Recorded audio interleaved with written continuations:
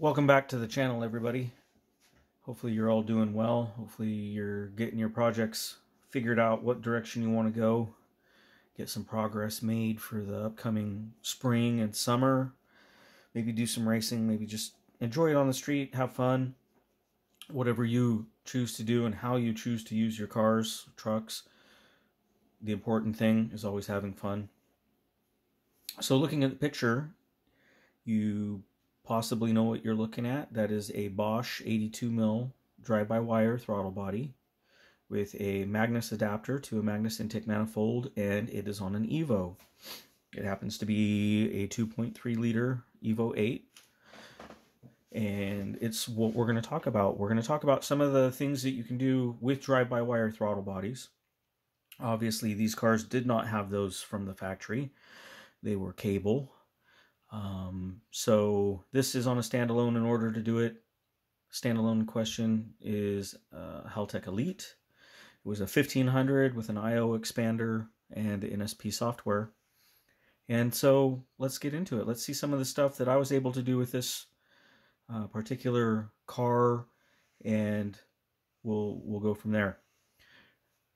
So opening the software, we're going to come down here the first thing we're going to see is the boost targets and this did have a, a rotary uh, boost knob.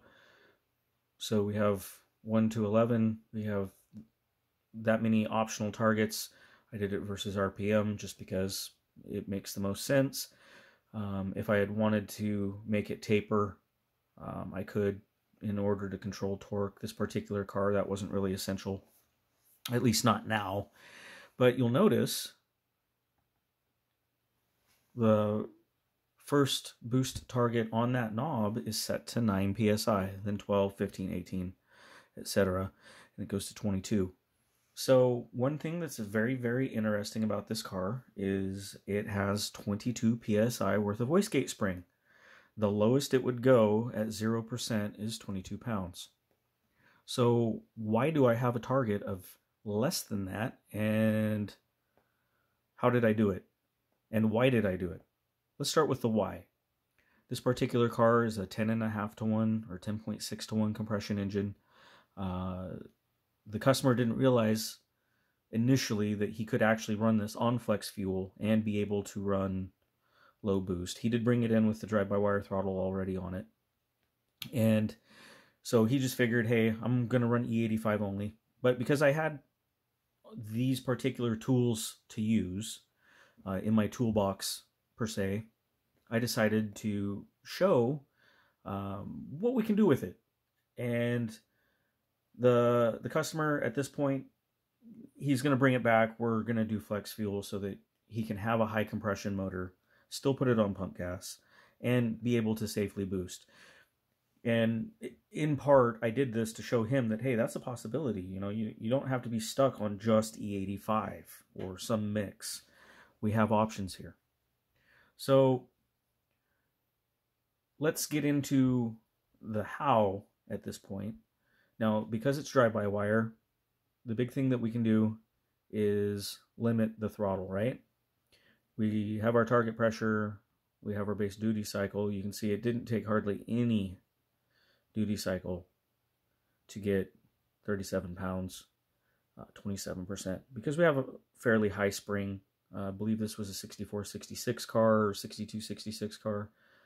Um, it is a 2.3, which I don't like to rev, um, especially because of the crankshaft being used.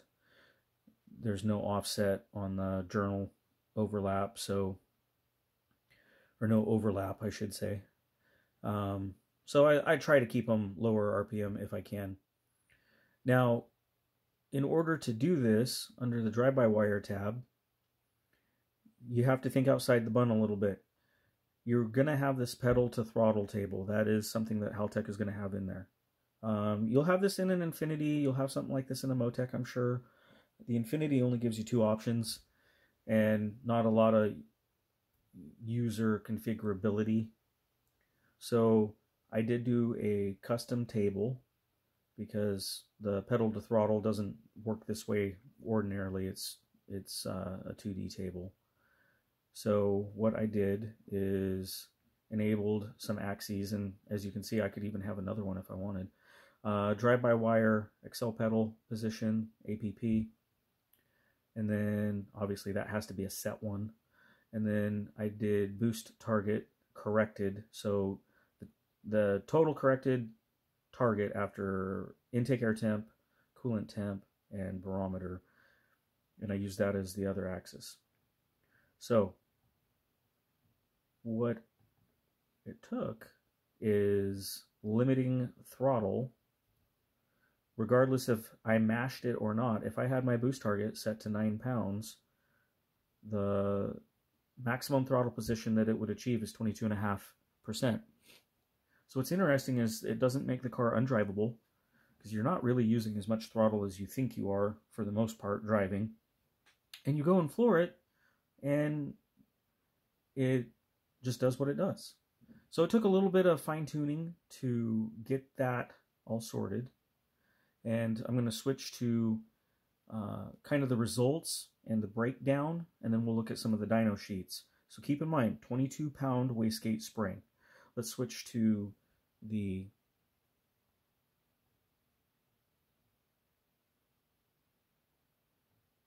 little notepad here that I made. 16% total throttle was 1.88 psi peak and made 129 wheel, 130 pound feet of torque. So real powerhouse. Up here we can see drive-by-wire tuning, name of this particular video. It's an Evo 8, Bosch 82 mil, 2.3, E85. It was a 6466, 22 psi of spring. These percentage values are TPS, which is why I made that little note there. Now going from 16 to my note says 19 to 20, so it might have been a little variable, I'm assuming, or I was messing around. I got 6.94 peak, made 212. The 22 and a half was 11.2, and then dropped to 8 and made 289.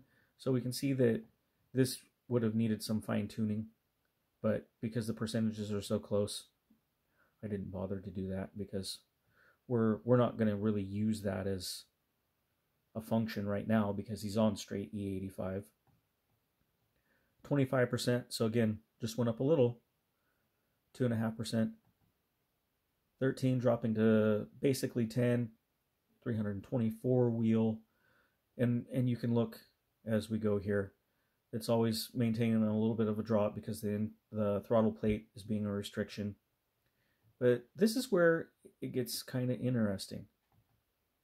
Four, whoops, 40% ended up being 18 psi even and made 470. So we're starting to get to where the throttle isn't limiting the drive energy produced by the engine. 46 and a half, it came up 2 pounds. 20.3 even, made 508. 53% didn't really change anything, did make a little bit more power. I apologize for the sniffles, but you know, gotta make videos. Doesn't matter if you're sick or not. So from 53% to 100, which is where we get the 22 psi wastegate line, it picked up 30 wheel, picked up 17 foot-pounds. So we can see most of our correction is really going to be less than 50% throttle. That's where we're going to get the most effect for what I'm going to term torque reduction in this case. Obviously, you could use whatever you want. You can say horsepower, you can say torque. We know it's torque in the end, but your power is going to go down because we're limiting the throttle. So now we're going to switch to the DynoJet software and we're going to kind of see what this looks like as we move to the actual dyno results. So let's do that right now. I'm not going to run through all of them, but we'll start with some of the, the first ones. So the 16% throttle ended up making 129 and 129. I think I had written down 130, but obviously that's not quite correct. It made just under two pounds of boost when I, I chopped it 5400. And you can see that power band doesn't actually look bad. It just limited the throttle. It it really did what it was supposed to. That 22 psi wastegate spring doesn't even enter into it because of how we're controlling the boost. next one up was basically the seven pound. You can see though, it does have a pretty good drop. Drops to 3.8 there, 3.93. We'll say seven pounds to four pounds for sake of keeping it even. Power stays pretty flat. Boost definitely drops. 212 horse. So added added a bunch right right away. Next one up should be, oh, it's another one that I just ran out a little higher. I guess an actual even seven pounds. Made a little bit more. We'll jump ahead a little bit. Here's 15.8, 400 wheel, 340 foot-pounds. Now it's starting to look like it has a power band. But that 15.82 pounds, and then out here, it's dropping to 13.6. I run that on pump gas, even with 10.5 to 1 compression. I wouldn't be afraid to do that. You still make some power, still have fun. So when we go back to the notes here, 15.8, so that's 30% throttle. But the power band looks decent. Spools at 4,500, makes 300 foot-pounds there.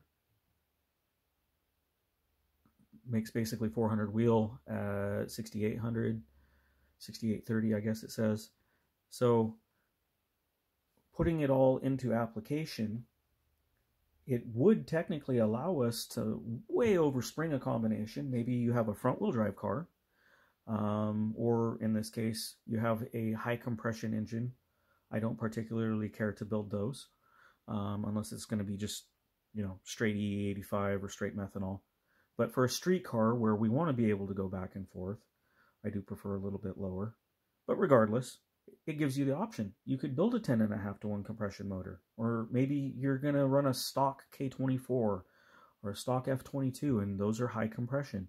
Ah, well, if you have a standalone and some creativity, you can take advantage of using the drive-by-wire to fix issues um, that ordinarily you couldn't. That would require taking the wastegate off, putting different springs in it, which ultimately will limit how much boost you can run at 100% wastegate duty cycle. But we've been able to to uh, kind of, you know, get the, the best of both worlds here. We have a potential for a lot of boost and barely using any any wastegate duty cycle. I'm going to clear these all out and we're going to see what the car made in the end. Well, wouldn't you know it? I don't have the the finals here, but I do have the car at 26 pounds of boost. 618 horse, 464 pounds. Nice, nice big power band. Really starts to wake up at 4,500 and I guess I went all the way to 8,000 and then started chopping the throttle. You can see there it just rolls over.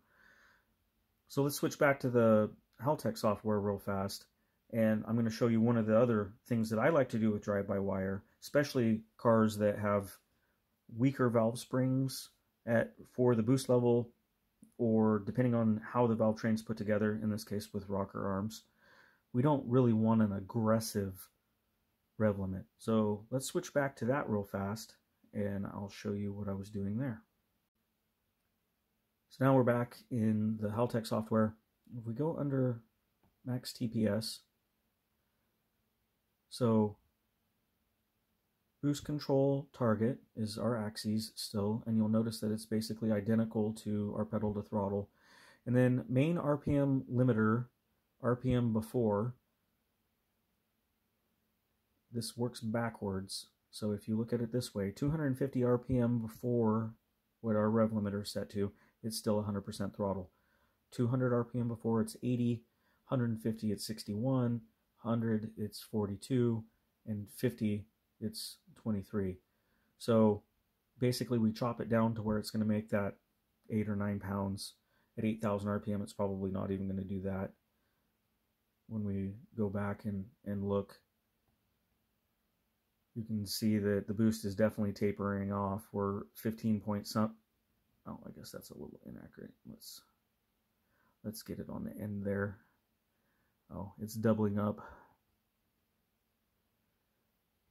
It's still 25, but you can see that it is closing the throttle, and that's killing the power because now we only have 309 horse, where just a few RPM before we had 610. So we lost 300 horsepower in 200 RPM. 300 RPM. Drive-by-wire can be our friend if we can think of ways to exploit it. It's not necessarily something that is a drag and going to get in the way. Um, it used to be that way. Stock ECUs, standalones that had insufficient ability to monopolize on the power of a drive-by-wire throttle body.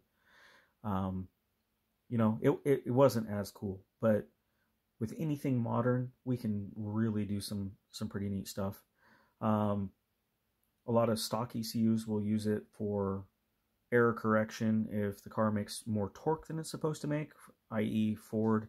My Ford Explorer does that. If uh, fuel rail pressure starts to drop, it starts to chop the throttle. Um, a lot of interesting ways to use it as a safety.